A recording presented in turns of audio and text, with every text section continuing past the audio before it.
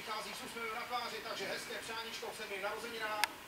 Krásný dobrý večer, ať se šlágru daří ještě líp než do posud, ať má spokojené diváky a krásné písničky.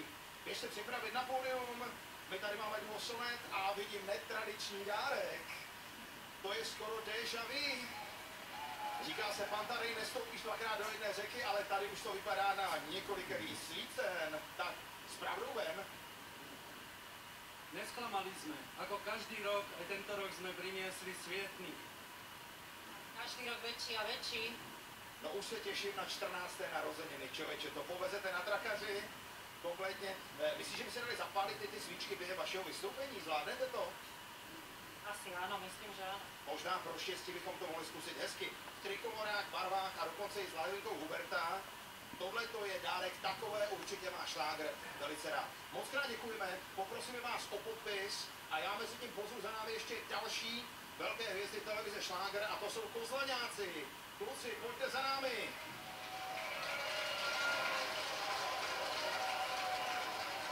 A už na první pohled je vidět, že kluci ví, co se sluší a patří.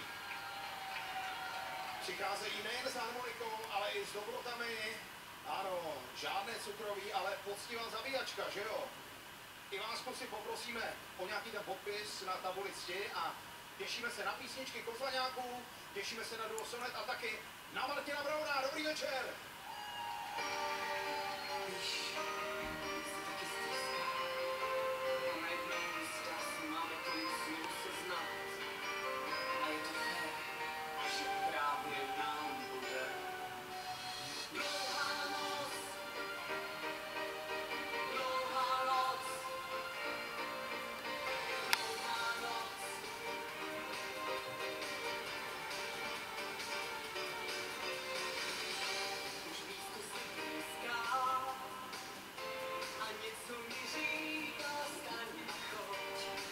don't go.